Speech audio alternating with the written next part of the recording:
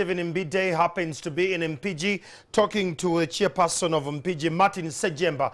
Um, Stephen Mbide, what does the chairperson say about the after lockdown effects our his people holding up? Mbide? First of all, I'll let you know before I even speak to the chairperson here, Andrew Magere, what I want to let you know is that uh, behind me you see uh, the market in PG market. Akatale kano kalimu abantu abenjala bava bava baleeta uh, as far as from Kiwi, Gomba, Butambala and others are coming from that side of Wama. This MPG, this MPG central market here, uh, many are even operating just next to the road and these are some of the issues that the leaders have to be addressing as they take because they already are already in office. Abantu b'empigi uh, be bamu ku bantu abalina embeera ezinyigizibwa mu byobwavu naye ate nga tuva tuyise mu mbeera eya covid-19 when you see here there is less of traffic coming from the direction of butambala gomba mpigi butambala accessing this roundabout of mpigi but let me speak to these leaders uh, martin sejemba here is the district chairperson and of course on his left is david mutebi the mayor of this mm, town council of mpigi uh, bakulu uh, good morning to you and welcome to morning at ntv Hey, good morning NTV, good morning Uganda, all viewers. I'm Sejemba Martin, the chairman LC5 of Mpigi district. I appreciate the visit. Yes, this is our Mpigi. Yes, it's a good place. Challenges, we are in the pandemic, but we are moving on. Let- Let's begin from there. The uh, challenges of the pandemic. Uh, we know that now councils, uh, government, of course, blocked or stopped the meet, council meetings of different local councils. And how is this affecting service delivery within Impigi district? A lot, because actually, however much we are in the pandemic, the councils are now down. We came in the time of the pandemic, COVID-19 restrictions. The councils are not sitting in the local governments. Uh, the committees, the committees are not operating. You know, for us the, as leaders, we are the supreme body that do monitoring. Services are happening. We know we are restricted movements and all that. When councils are not sitting and committees are not operating, the service delivery, there is a question how funds and revenue is utilized in the district. But again, we are following. But what we ask, we need an urgent release of council. We are a legislative body. Yes, we have an open and a very, very important role to play in monitoring and making sure services reach our people.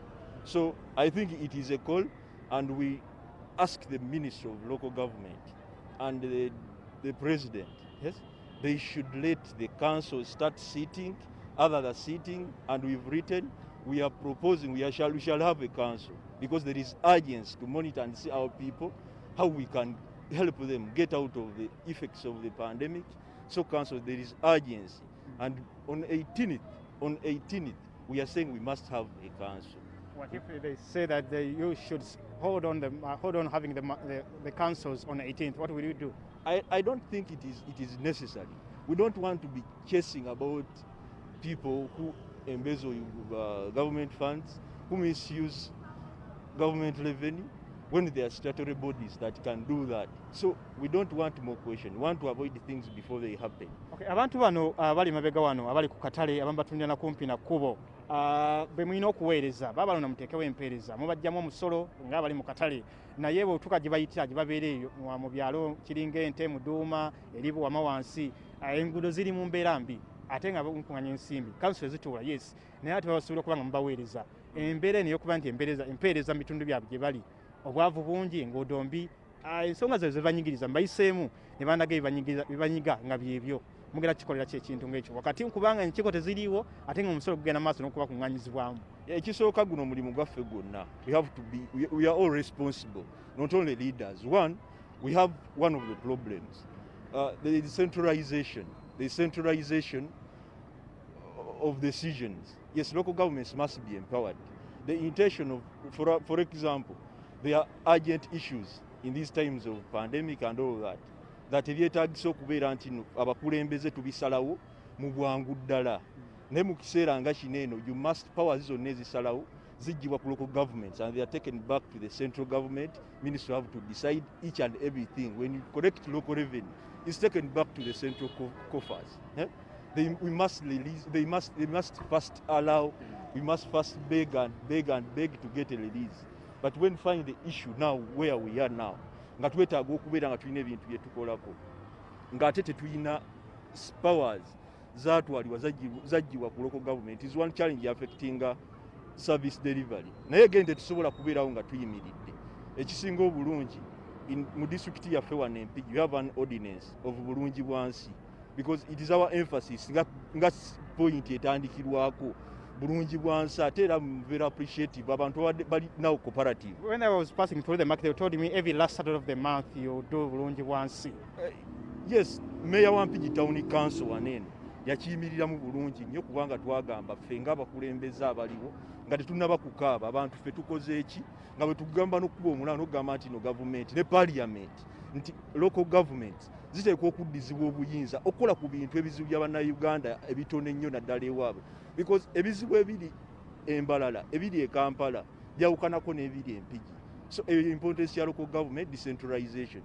Batwabeerawo intention ya decentralization ate nga mu actual sense badisempoweringa local leaders and local decision is not taking okuaddressinga local problems issues. Economy egenda kusafaringa ebitundu byaffe bigenda safaringa and we see tukiraba ekyo nga it is one of the challenges eriwo gye twetaaga osalira amagezi Okay. Let me also go to the mayor of uh, Mpigi Town Council. Uh, Mpigi district has almost uh, 300, slightly above 300 people, and your town council has almost uh, 50,000 people. Uh, abantu bano emitwalo etaano n'emitwalo asatu obwavu nsonga nkulu nnyo government has different programs that are geared to empowering the people uh, you know also uh, different people are coming up with different projects like emyoga uh, like uh, parish, parish development model essira mu how is this going to be addressed? How, what, you, as the new mayor of this area, what do you think should be done to ensure that this poverty is really tackled and we tackled the seriousness it deserves? Thank you. Welcome NTV to my town. I'm Mutebi David, Mayor, PG Town Council. I welcome NTV to my town. Uh, so far, we think that uh, our government, you know, it comes with a lot of programs to eliminate poverty. But we don't know whether the, the, this, uh, their programs they are effective because, like now we have a Myoga, I have YLP, we have uh, Operation Waste Creation. Now they are introducing a new program of uh, parish model, whereby all the all the pro- all the programs they are not what implemented very well. So now we have the issue that uh, if the government wants to promote development in our community, let us focus on one common project. If it is wealth creation, let us put emphasis on that what on that program. naye weesanga nti gavumenti ereeta ebintu programu ez'enjawulo kumu kumu kumu kumu kumu. Naye weesanga nga abantu bali confused.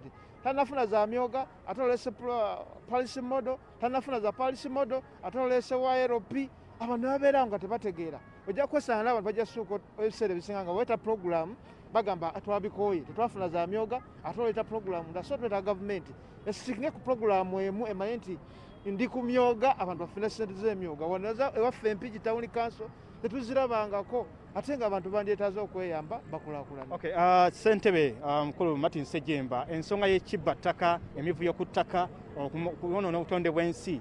Uh, the issue of land grabbing land evictions and land disputes is so alive in Mpigi ensonga zino ez'ettaka abantu bano bakaaba.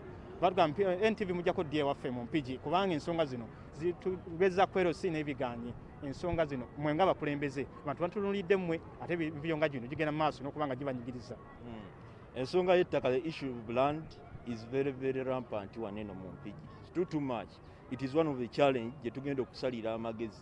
It is not only us. We are calling even other leaders the mps we are looking at the way model how we are going to handle the issue of land it is part it is now national we are part of uganda we have a lot of uh, Milo land here, Milo land here, and it, has got a lot of encroachments. It is very patent, and the challenges that are national, they are totally, typically happening here in Impigi.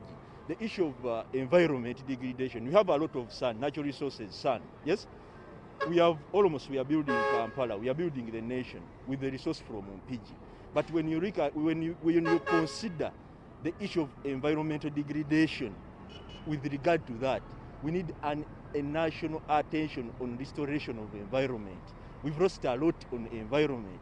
We are leaders, we have come, mess has been done, yes, a lot of mess has been done, but from the point, there is a lot we can align and move to better. Yes, you know every truck you see here almost is coming from Mpigi.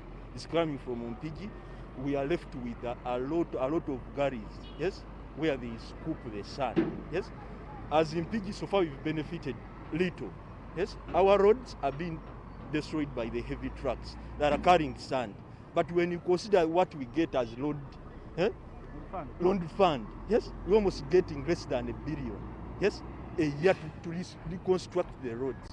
They're been destructed, but when you consider the concern of the government, the natural resource that is coming, the restoration of the environment, the encroachers, eh, when you find the issue of, uh, of land, land grabbing, everyone wants to impede you. You're almost having uh, immigration rate into Mpigi, almost is around 4%. 4% immigration rate. We are getting a lot of people coming into the district.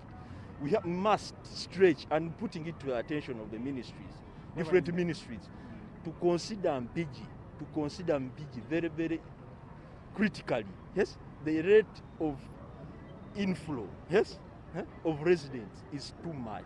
webale nnyo uh, martin sejemba the ssentebe wa district district chairperson of mpigi let me also go to still the mayor of mpigi town council. Abantu bano era nja besi bakonya kubanga nze mbayise mulambuli ebizibu byabwe. Kasasiro. uh, bava ava mu maduuka ava mu katale awo n'otuuka oluusi kasasiro nakuyolebwa nemwakubadde mulina bulungi bwansi. Ensonga eno bagituliramu abakulembeze nti oluusi emmotoka bya- bwe mwawasonyiwa bawa contract balwawo okujja bayolamu kasasiro. Ate nga beera ku nsolo bajja kubanga we bali okuguwa. Asebo tweyanza nnyo neyanzeege nti wenagira mu bukulembeze kasasiro oyo yali abeera mu maaso awo nga wewalabye akatale awo we yali. Naye ffe ng'abakulembeze abapya tutunuulira okuyonja ekibuga kyaffe wamu n'abantu baffe.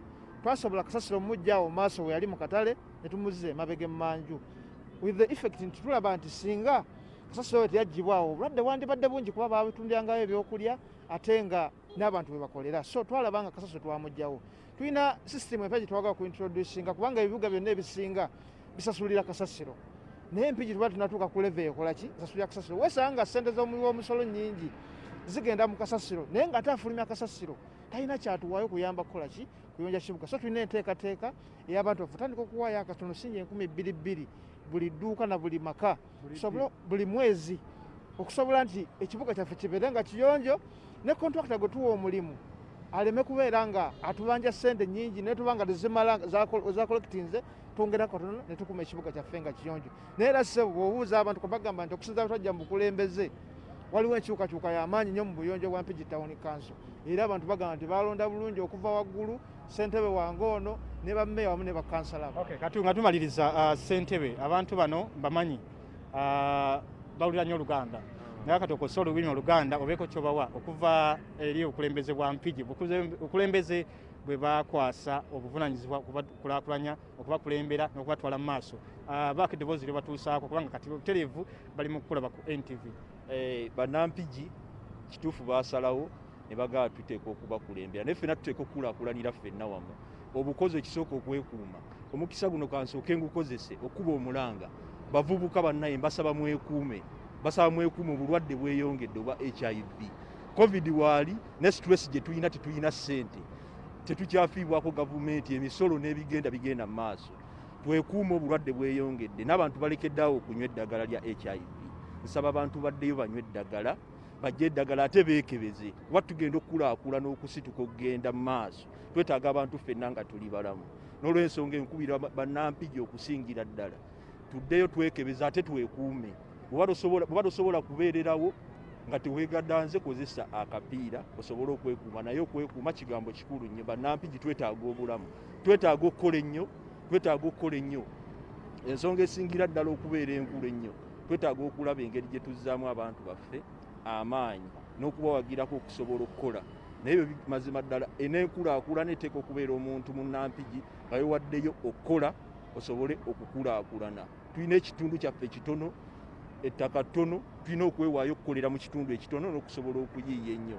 Amasomero gaffe abasomesa bannaaye bo tulina obuzibu bw'abasomesa naye mbasaba abasomesa baffe mu mpigi mugume mugume kyekino ekitundu kyaffe tuyita mbuzibu ne tujja kubuvuunuka ekiseera tumanyi nti nno okufiibwako kutono ne tutusala entotto nga bakulembeze. Tuyambe tutya abasomesa baffe? Naye abantu bannampigi bannabuwama bannamuduuma ba- baki- bannakiringa ente kayabwe. Ebibuga ebyo nabo bagezeza kukola bulungi bwansi. Tubeebaza ne ffenna gye tukoleze tujjumbire bu- bulungi bwansi mukuume ettaka. Ettaka wewajja okusibuka enkulaakulana ya mpigi. Munywerere ku ttaka temuseeseetuka ate temukkiriza bantu bajja kubatwala ku ttaka mu nkola eyaki twebuuze Webale Martin Sejemba, the district chairperson of Mpigi district, and of course uh, Daniel Mutebi, the mayor of Mpigi Town Council. And this is what's happening here in Mpigi. Of course, they've been highlighting the issues of affecting the people of Mpigi uh, in its entirety. Stephen Imbido Mfefe Kibuga, together with Colin Muhez here on the ground, we hand you back to the safe hands of Andrew Chamagero in the studios. We sign out. Mbide and it's